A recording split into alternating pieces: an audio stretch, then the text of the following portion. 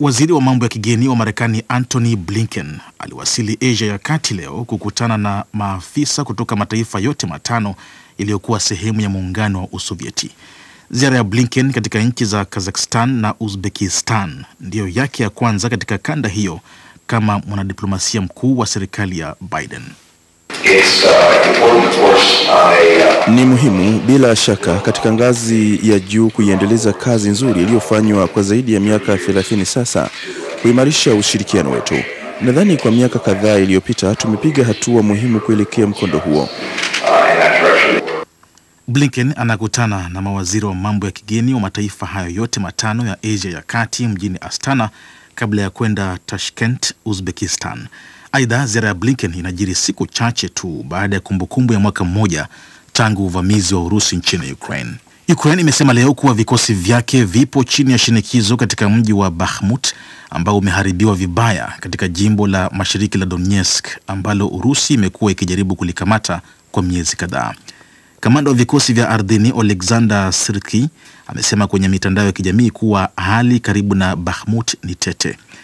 Amesema licha ya kukumbwa na hasara kubwa, adui ametumia vikosi vilivyojiandaa zaidi vya mashambulizi kutoka kundi la mamluki la Wagner vinavyojaribu kuvunja ngome za majeshi ya Ukraine na kuzingira mji huo.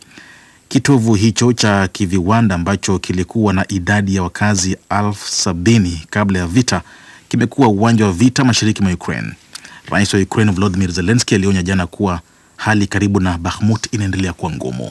Kamanda huyo Jenerali Oleksandr Siriski amenukuliwa akisema kwenye jukwaa la kijeshi la mtandao wa Telegram kwamba licha ya hasara kubwa, adui ametumia vikosi vilivyojiandaa zaidi vya mashambulizi kutoka kundi la mamluki la Wagner vinavyojaribu kuvunja ngome ya majeshi ya Ukraine na kuuzingira mji wa Bakhmut.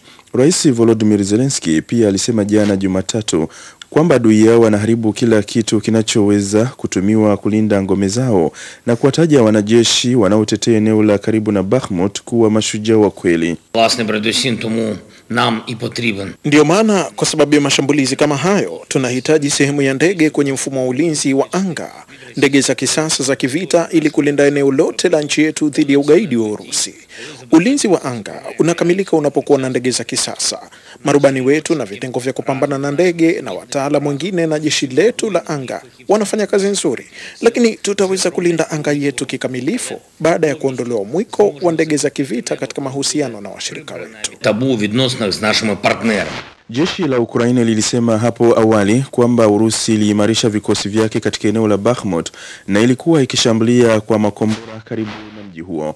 Wanajeshi wa Ukraine katika mkoa wa Donetsk walijificha kwenye mitaro ya matope baada ya hali ya hewa ya joto kulainisha ghafla ardhi iliyoganda. Urusi alisema kuwa vikosi vyake vimeharibu ghala la kuhifadhi risasi la Ukraine karibu na Bakhmut na kuangusha roketi zilizotengenezwa na Marekani na ndege zisizo na rubani za Ukraine, ripoti ambazo hazikuweza kuthibitishwa na vyanzo huru. Wizara ya ulinzi ya Urusi imesema Marekani inapanga uchochezi nchini Ukraine kwa kutumia kemikali za sumu, lakini hakukuwa na jibu la mara moja kutoka kwa Marekani kuhusiana na madai hayo. Mjini Kiev, waziri wa fedha wa Marekani Janet Yellen alikuwa afisa mwandamizi wa karibuni zaidi kutoka magharibi kuuzuru mji huo mkuu wa Ukraine na kuahidi msaada na hatua zaidi za kuitenga Urusi baada ya kukutana na Rais Volodymyr Zelensky na maafisa wengine wa serikali. Bosi wake Rais Joe Biden alikwenda mjini humo wiki moja iliyopita kuadhimisha kumbukumbu ya mwaka wa kwanza wa uvamizi wa Urusi.